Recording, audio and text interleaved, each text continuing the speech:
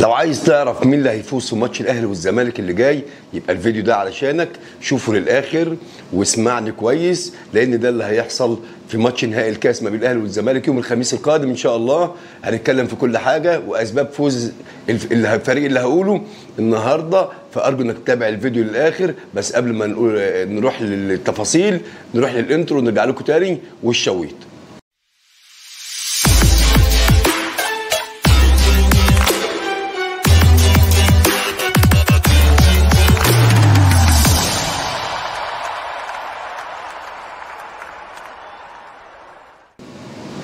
بعد ما رجعنا لكم من ال intro آه، ماتش الأهلي والزمالك اللي جاي في نهائي الكاس يوم الخميس القادم إن شاء الله يوم 21 الماتش ده يا جماعة هنتكلم فيه عن أول حاجة عن النادي الأهلي ونادي الزمالك. طبعا الفترة الأخيرة النادي الأهلي نتائجه مهزوزة ومع مدرب جديد.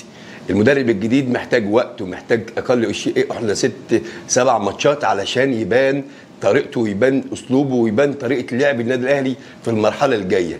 من ضغط على الخصم من نقل الكورة من تحركات الأجنحة من الدفاع من نقل الكورة من الخلف.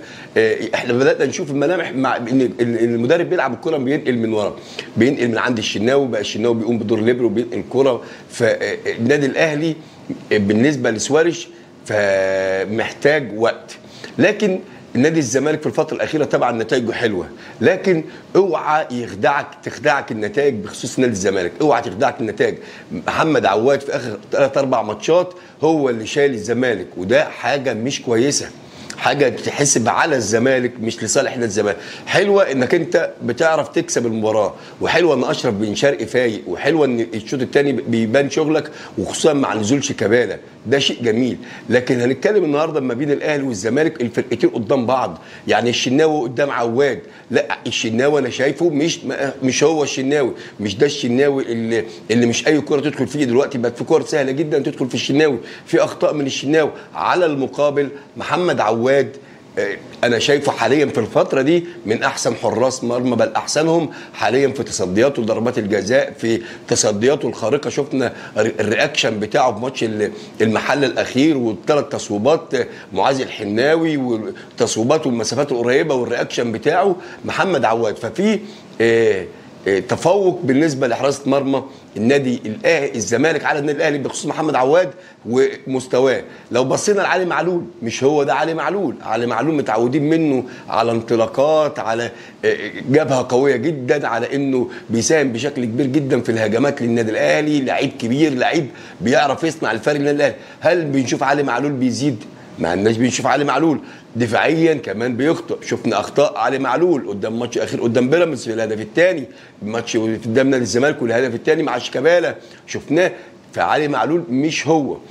في حاجة مش طبيعية في النادي الأهلي وهي دي اللي ممكن تكون سبب من أسباب تفوق نادي الزمالك حاليا اللي هي اللي هو اللعيبة مش في الفورمة مش لعيبة نادي الأهلي اللي في الفورمة. مش محتاجين مدرب ده محتاجين واحد يرجع في- حتى في الدقيقة plus 90 النادي الأهلي في ال plus 90 كنا بنشوف النادي الأهلي بيضغط وبيقطع الدنيا. النادي الأهلي مستسلم ودي حاجة مش في صفات النادي الأهلي ولاعيبه النادي الأهلي اللي هي القتال لآخر لحظة في المباراة. فده من أسباب اللي تديك نقاط تفوق لنادي الزمالك. ما شفناش الاجنحه محمد هاني ما بيزيدش. ما شفناش محمد هاني وما شفناش قلبي الدفاع ما بين ياسر إبراهيم أو آه، رامي ربيعة. ما فيش تفاهم. ومحمد عبد المنعم طبعا موجود. بس ما شفناش تفوق ليهم. بقينا بنشوف ثغرات. بقينا بنشوف اللي بيتلعب ورا النادي الأهلي. هنروح لزيزو لا زيزو عالي. زيزو مع ان المستوى الفترة الأخيرة برضو مش هو ده زيزو. زيزو مشكلته لما بيمسك الكورة بيبقى عايز يعمل كل حاجة. وده غلط. وده غلط. فده اللي بيخليه إن الكورة دايما بيفقدها و- لكن شفنا آه، over ات زيزو وبرضه بتعطيه. آه، نقاط للنادي الزمالك. ال over ات بتاعته العرضيات يا جماعة العرضيات بتاعته متقنه جدا. وشفنا الهدف الثاني في النادي الأهلي عن طريق آه، آه، بن شرقي. وشفنا الهدف الثاني في نادي نادي الزمالك برضه عن طريق بن شرقي. ماتش المحلة المحلة. فأوفراته بتصنع الفارق. لكن لو زيزو فايق هيبقى جبهه قوية جدا. وهيتعب علي معلول وهيتعب سواء ما شفناش حمدي فتحي في تغطياته لما كان بيساعد أو السوليه إذا كان هيساعد في التغطية مع علي معلول في الجبهة ال- اليسار. الفكرة إن النادي الاهلي المشكلة في اللعيبه. مشكله النادي الاهلي لعيبه مش مدرب. المدرب لسه. لكن النادي الاهلي طول عمره تاريخيا يعني أنا أنا عشان أكون أمين معاكم يكسب بدون مدربين. المدرب آه شيء كويس مع موسيماني وشفنا تخطيطه لكن نوعية لعيب النادي الاهلي اترهن عليها. وده في ماتشات القمه كان دايما بيبقى فيه رهان. لعيبة أنا واحد من الناس وأنا زملكاوي بقول لكم لا براهن على لعيبة الأهلي إن هم كان دايما في ماتش الأهلي والزمالك يكونوا موجودين. يعني الماتش الستة واحد اللي اتغلبناه مصر كلها كانت عارفة إن الزمالك هيكسب في الوقت ده. وكل المقاومات كانت تقول للزمالك كنتائج ولعيبة. لكن يوم ما خسرنا 6 1 والله كان هيجي لي القلب يومها. وربنا أنا كنت خلاص هسلم. بس هو ده ده النادي الأهلي. ما, ما اوعى تراهن النادي الأهلي يبقى خسران. اوعى تراهن عليه إنه يبقى خسران. ونادي الزمالك في الفترة دي اوعى تراهن عليه إنه كسبان عشان بالنتائج.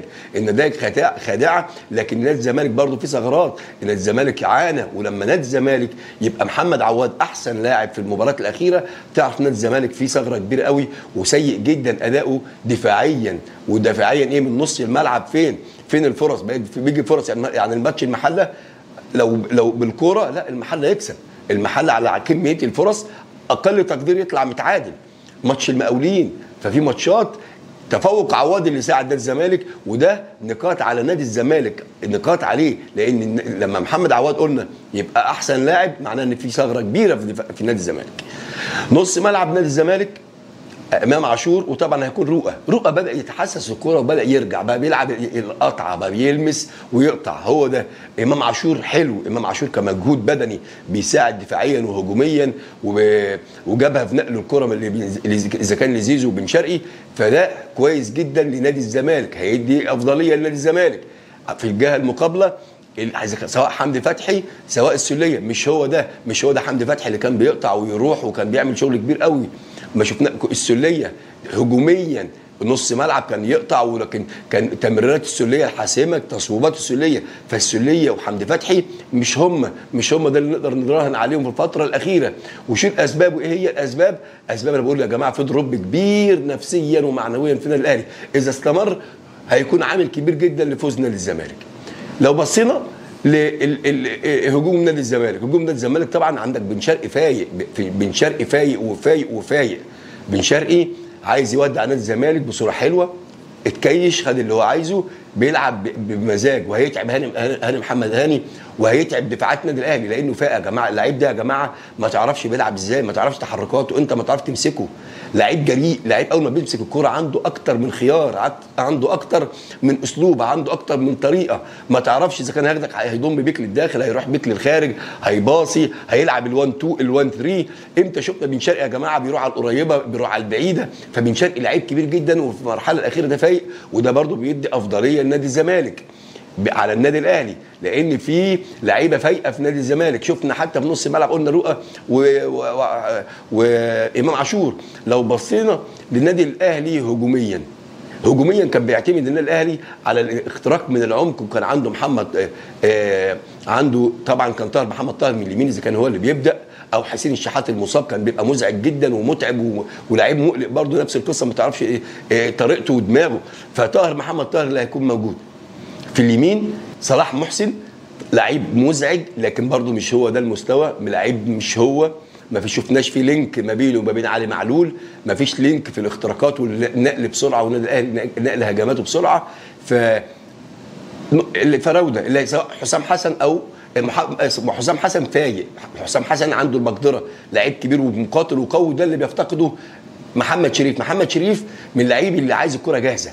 آه تحركاته مزعج ولاعيب مقلق ولاعيب على الجول عالي جدا لكن عايز الكرة خلصانة بالشياكه إذا كان كده وتحركاته وبرده مش من اللعيب المقاتل اللعيب اللي نقدر نقول عليه بيقاتل أو قوة جسمانية زي حسام حسن بالعكس. ف هجوم نادي الأهلي أنا شايفه هجوم النادي الأهلي قوي وهجوم النادي الأهلي عنده اللي يخلص عنده اللي يتخلص اللي يخلص ويقدر يخلص الكورة.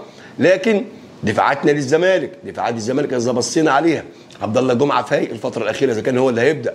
عبد الله جمعة جبهه قوية جدا في نادي الزمالك. لو بصينا لقلبي الدفاع الونش بدأ يستعيد جزء من مستواه. لو بصينا لحسام عبد المجيد الناشئ اللي بدأ يبقى يحط آه، قدمه ويكون لاعب أساسي في نادي الزمالك. لو آه، لو طبعا المسلوسي وأتمنى ما يلعبش لأن المسلوسي واحد وشه وشه فقر على جمهور نادي الزمالك. لما يلعب أهلي وزمالك لازم جمهور نادي الزمالك بيشيل. فإذا المسلوسي لعب يبقى نستعوض ربنا يبقى المباراة خلصانة بالشياكة للنادي الأهلي. أو هيلعب بمحمد طارق الناشئ اللي عمل أو آه، اللي عمل طفرة في الفترة الأخيرة وبرضه حط قدمه. وبرضه يا جماعة ناشئين نادي الزمالك سيف جعفر وأسامة نبيه ونيمار في اليمين. نيمار كمان كبديل قوي جدا. يا جماعة سيد نيمار ده لعيب فدكة بدلاء نادي الزمالك أصبحت تبقى قوية جدا. فإحنا لو بصينا في المجمل نادي الزمالك فايق نتائج بتخدع لكن اللعيب في بعض اللعيبة الكبيرة في مستواها زي بن شرقي زي زيزو خطر زي ما شيكابالا بينزل بيصنع الفرق وشفنا شيكابالا وبيعمل إيه لما بينزل الشوط الثاني ومهارات شيكابالا وطريقة شيكابالا إنه إزاي بينقل اللعب من الدفاع للهجوم والمرتدات اللي نادي الزمالك بيكسب فيها في الفترة الأخيرة شفنا إيه ف إيه لكن تقول لي تراهن؟ أقول لك لا ماتشات الأهلي والزمالك ملهاش مقياس. اللي أنا قلت ده كله كرويا على الورق موجود لكن في الأول والآخر ماتش الأهلي والزمالك خارج التوقعات وما تعرفش مين هيكسب ومين. إحنا قلنا آه، في فترة الستة واحد كان الزمالك وحش كان الزمالك عالي جدا عالي جدا. ومع ذلك خسرنا ب 6 1 الماتش خارج التوقعات. اللي أقل فريق اخطاء هو اللي هيكسب والفريق اللي هيعرف يدافع هو اللي هيكسب. الدفاع كويس وأقل أخطاء في الدفاع هي اللي هتكسبك المباراة. إحنا شفنا للزمالك في الفترة الأخيرة دفاعاته طبعا مهزوزة. ومع ذلك تفوق عواد وعندك بن شرقي اللي بيخطف خلاك تاخد أكتر من أربعة بونت آه، أكتر من تسعة بونت في آخر ثلاث ماتشات بفضل عواد. وده تفوق لنادي الزمالك عن طريق عواد. لكن الماتش خارج التوقعات الماتش على الورق ما تقدرش تقول مين هو الفريق الأفضل حاليا. لعيبه النادي الاهلي هل هتنتفض؟ هل هتقوم من نوم السبات العميق اللي هي نايمة فيه وتبدأ تدافع عن اسم النادي الأهلي وعن تيشيرت النادي الأهلي وروح فانيلة النادي الأهلي اللي إحنا متعودين عليها القتال لآخر لحظة؟ لأن ده أهم حاجة مش ريكاردو سوارش ريكاردو سوارش مش هو اللي هيديك ال... إنك أنت تقوم تقاتل وتموت نفسك. لا لعيبة النادي الأهلي وطبيعه لعب النادي الأهلي ولاعيبه النادي الأهلي في صفاتها القتال لآخر لحظة عشان تكسب. فده محتاج واحد من الاداره تقعد مع اللعيبة تحاول تس- تستفيقهم يخليهم يرجعوا تاني. هو ده. لكن المدرب المدرب عليه جمل يقولها لك. وكمان خلي بالكم مشكلة كبيرة جدا المدرب الجديد. المدرب الجديد ده ممكن يعمل فكرة تغرق النادي الأهلي الماتش اللي جاي. تغرقه. عايز يعمل جملة. الجملة دي مين هيتحملها؟ لأنه جاي في وقت صعب وقت ما تقدرش تقول عليه إن الوقت ده كان مناسب جدا لموجود ريكاردو سوارش إن يكون موجود فيه. فالمباراة على الورق ما تقدرش تقول مين. آه, آه أسامي عندنا تفوق لنادي الزمالك في في الفترة الأخيرة من خلال النقاط من خلال بق- آه، استفاقه بعض اللعيبة بن شرقي المستواه وزيزو وشيكابالا والناشئين اللي في نادي الزمالك اللي بدأوا يصنعوا الفارق. إمام عاشور في نص الملعب والونش اللي بدأ كمان يرجع لمستواه. النادي الأهلي ما فيش لعيب يا جماعة في النادي الأهلي تقدر تقول عليه هو اللي عالي. دروب كبير جدا في النادي الأهلي ومش طبيعي في حاجة مش طبيعية في النادي الأهلي. لعيبة النادي الأهلي ما شفناهاش يا جماعة. أنا الفترة الأخيرة مش فيش لعيب أقدر أقول عليه أقول عليه نجم النادي الأهلي الفترة الأخيرة ما فيش. حتى الشناوي مستواه نازل. لو ما بدانا بالشناوي محمد عبد المنعم علي معلول مش موجود. السوليه ما عادش تصويبات. حمدي فتحي بعيد عن مستواه. ديانج لما بينزل تحس إنه مسلم وخلاص بيفكر في إنه يمشي. ما فيش. كان الحسين الشحات مرة آه مرة لأ. فهي دي. فانت ما عندكش ال- ال- اللعيبة اللي كانت بتصنع الفارق في مستواها في النادي الأهلي. على على على المقابل النادي الزمالك لا لعيبته فايقة. والنتائج بتديك ثقة والنتائج بتديك ثقل في المباراة. لكن مباراة الأهلي والزمالك خارج التوقعات. اوعى تقول أهلي واوعى تقول زمالك. اللي أقل أخطاء اللي أقل أخطاء في المباراة هو اللي هيكسب. واللي بيدافع كويس هو اللي هيكسب. المباراة يا جماعة فكرتها كله. إزاي تدافع وتلعب على المرتدات؟ يعني بالنسبة للنادي الاهلي اذا النادي الأهلي عايز يكسب هو اللي يدافع يدي الكرة للزمالك يسلمها للزمالك ويلعب على المرتدات. وده ذكاء. وإذا جيزوالدو فيريرا عايز يكسب الأهلي يدي الكرة للأهلي الاستحواذ ونلعب على المرتدات نقفل كويس دفاع منطقة من الخلف دفاع على ال 18 بحيث أي كرة تتلعب من وراك يبقى عواد يقوم بدور زي ليبرو ويمسك أو يطلع برجليه. لكن ما تلعبش من تلتين الملعب وت- وتنتحر قدام النادي الأهلي هتلاقي في جبهات قوية ومرتدات. الفكرة في المباراة اللي هيخلصها اللي أقل أخطاء في الدفاع والمرتدات اللي, اللي هتصنع الفرق في الفرقتين اللي هيستغلها. ونازل واقف صح ونازل في الملعب ثقته بنفسه صح وهادي هو اللي هيكسب. هنعمل فيديوهات كتيرة هنقول بقى التشكيل والتشكيل الأقرب للفرقتين الحلقة اللي جاية. يمكن النهارده تكون بالليل أو بكرة إن شاء الله. التشكيل الأقرب وطريقة اللعب اللي بيلعبها هل هيلعب 3 4 3 ولا 4 3 3 هنشوف الطرق دي. إن شاء الله إذا عجبك الفيديو like و share و comment.